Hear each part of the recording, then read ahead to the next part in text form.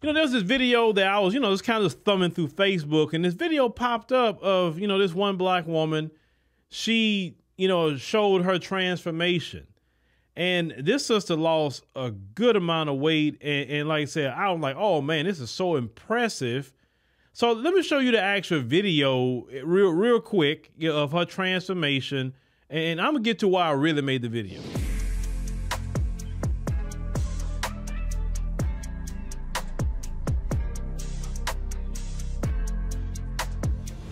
Now, as you saw, that sister lost a total of 158 pounds. Let's give her a hand clap on that. Like, man, that that is some work. And and and she deserved all the accolades with her health and anything else that's going on with her, right? But the reason why I made the video is not about her transformation, which is very positive. I made the video because black men black people also, but I'm talking about black men. Let me pull up this comment up on the screen here. So you see this one black man, you are beautiful in both versions of your body transformation. The second one, 297 version was sexy also. And those two comments is the reason why I made the video. Now, some black men complain about black women's weight. But y'all have to understand there is a big percentage of black men that encourage obesity in our community. Well, black people in general kind of encourage obesity, and I'll get to that. We're talking about black men in particular. Do you know, like, think about it. Why do you think some black women say, I don't want to go to the gym because I'm going to lose my curves? We've heard them say this many, many times. Even the Crystalline Carrison has said that they told her that many, many times, right? Why would they fear losing weight? For what?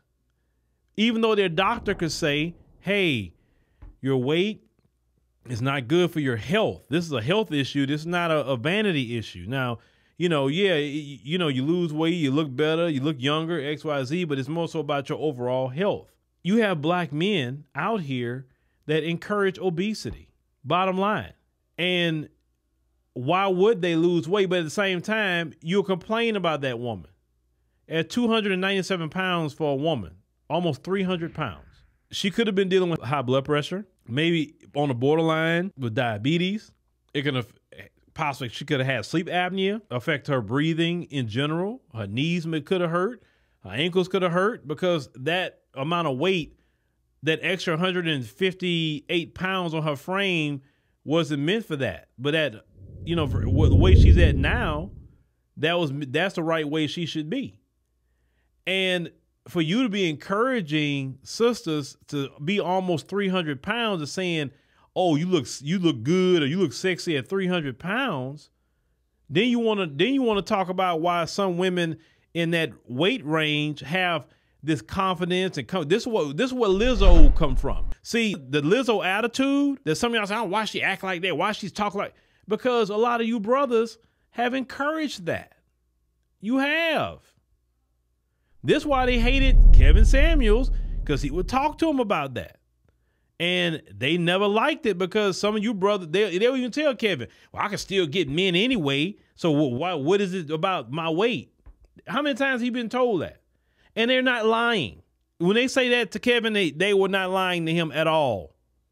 They would still get some of you black men, but we know what kind of black men they would get. They'll get black men that's broke. They get black men that's dusty.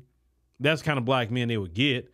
But still, it's still they still would get one, a man, right? Not the top tier man, but they would get a man. Or now let's talk about the black community in a whole. You can't tell me that she wasn't even that's that's the dating aspect with men. Let's talk about the whole. They're having women that'll be telling her, why are you losing all that weight? Especially losing that much weight. Why you why you losing all that weight? You will look better when you when you was you know the way you were. Oh oh, you starting to look sick now. Look, you losing weight. Something wrong with you? Now you didn't say something was wrong at 297 pounds, but now now now at this weight something wrong with you. You need to eat. Or, and shout out to Cookie Dyer from a Watch Cookie Shrink YouTube channel. She was 300 pounds and she lost all that weight. And Cookie had told me to my face that she lost friends and family members when she lost weight. She said that people saying the same thing to her. You looking sick? Like why? Why you don't want to eat what we eating? Um, you know, I feel some sort of way being around you. You know, because she started getting attention that they wasn't getting, right? Because she got herself in shape. So you you never have people in the black community when they see you gain 20 pounds. Hey man, you know, you kind of gain you gain about 20 pounds. Look like, man, you gonna get sick. Nobody in the black community tell you that. Only if you're losing weight, they got something to say. So you can't be encouraging obesity in the community, black folk, and black men in particular, with the women. You can't be sitting up here saying that to her. That gives her like, oh shoot, I don't have to do anything. I'm cool. But then you get on social media talking about women's weight. You can't like have it both ways, bruh. I'm just saying. We need to stop encouraging obesity in our community because it's kind of killing us in the community. High blood pressure will kill you. Diabetes will take you out of here. It will. People can people have died from sleep apnea. A lot of these things that we can't control. Do you know about 90% of the, the illnesses in America? A lot of it is through diet.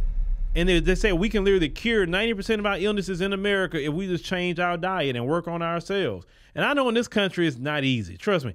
I know it's not easy. If anybody don't, I know it's not easy. I know.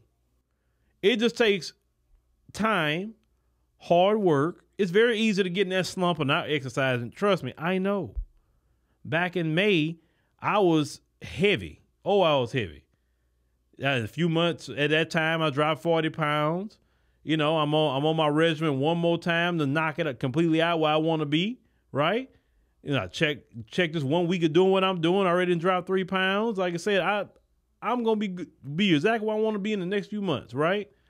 But it just take time. It take time. It take effort.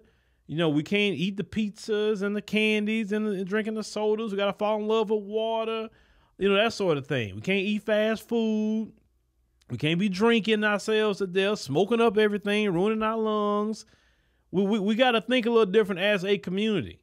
But we don't need to be encouraging, you know, uh, uh, sisters in the community or even brothers too. Don't be encouraging the brother. I like big men. I love a big man. Like, okay, I'm not saying you won't be with a dude that's stick skinny. I'm not saying that, but don't be saying you love a big man and the brother's like 350, 400, 500 pounds. Don't we need to stop encouraging obesity if we want our people in our community to live with longevity.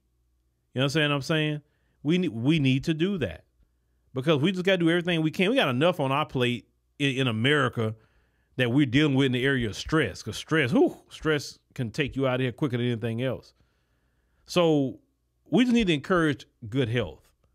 And like I said, I'm proud of this sister of, of what she done. Her transformation is is awesome. But brothers, give her more of a hand clap for her transformation. Don't be telling her that she that she used to also look good at 297 pounds. No,